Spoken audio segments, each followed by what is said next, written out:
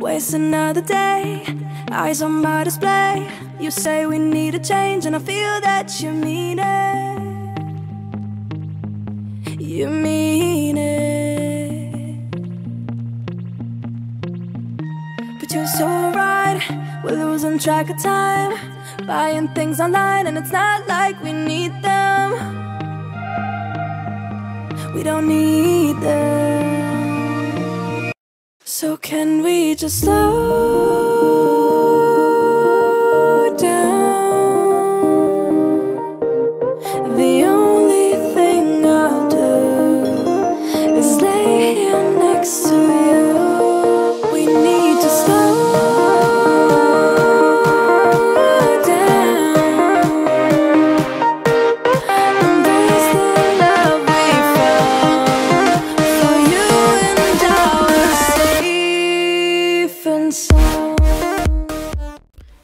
guys, how's it going? I hope you guys are having a wonderful day. But today I'm bringing you a video on how to do a character redesign for an already existing character. In this case, I'm doing a redesign of Ariel from The Little Mermaid, but I'm doing a redesign of her park dress, which is actually a redesign of another dress apparently, since it's not actually in the movie. Also, this is going to be a two-part video. So the first part of this video will be me designing the dresses and then the second part will be actually me redefining and doing the final version of my design. But the reason I'm doing this dress is because I really like it and I wanted to um, actually make this dress in real life for charity work. And basically, it's kind of my dream dress. It's really beautiful. It's supposed to be made of like sea foam. Like that's the story is made of sea foam and bubbles. It's also like my favorite color. So I was really excited to try out like different like textures and stuff, especially when you have a color a dress color that's like basically the same but it's supposed to be like bubbles.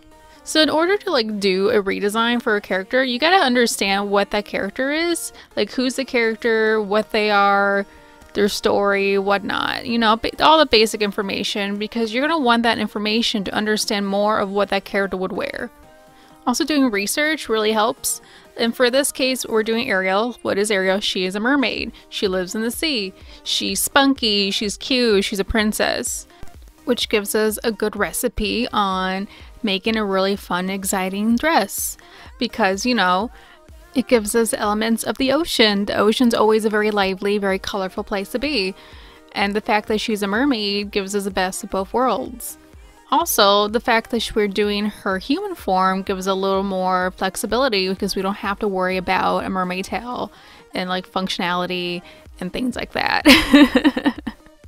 and the dress we're doing is a princess dress, but it's blue, it's pretty, it's sparkly, it's bubbles.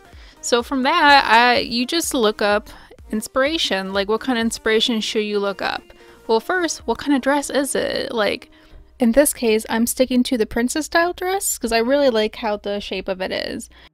But you're also very welcome to pick other style of dresses that you can pick Edwardian, you could pick Rococo, you could pick Victorian, you can also even pick like a Japanese kimono or some other things like that.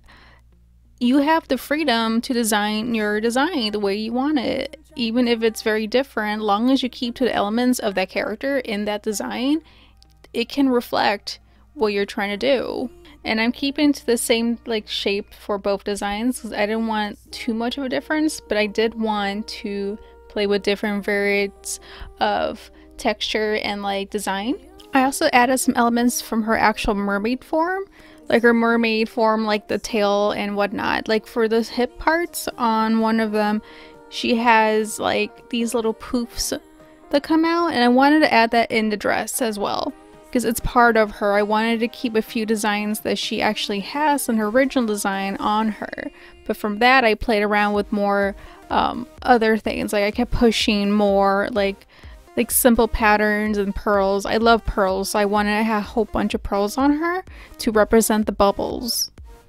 I didn't really want any swirls because I didn't I don't really like swirls too much, so I kept away from that. But I wanted also to play around with like uh, stripes and lines to help um, showcase the movement.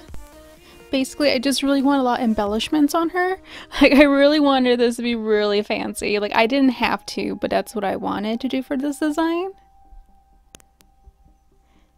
When you do a design, it you should always just continue pushing it. Like even if you get tired of it, like step away for a bit and come back and see what happens it does take a lot of work and it does take time sometimes to get the feel of what you want. You don't want to be too um, overwrapped what are you're doing. And I feel like when you're doing a design, it's always better to try not to be overwhelmed with the actual character when you're drawing them because it's mostly about the clothes. Like the other designs I did, if you see my other videos like Tinkerbell, my side on, it was quite busy, like there was a lot going on but it was still design. But I wanted to represent a design that is easy to look at. That someone, if someone wants to use this design for their own cosplay or their own drawing, they can look at it and be like, oh, okay, I get it. It's making things easy. And a lot of times, if you want to make things look easy on the eyes, you play with shapes. Now, I love playing with shapes. Shapes is always like your best friend if you understand how you're doing it. Because what is a drawing? What are you looking at? Like, everything is made of shapes, not lines. Shapes.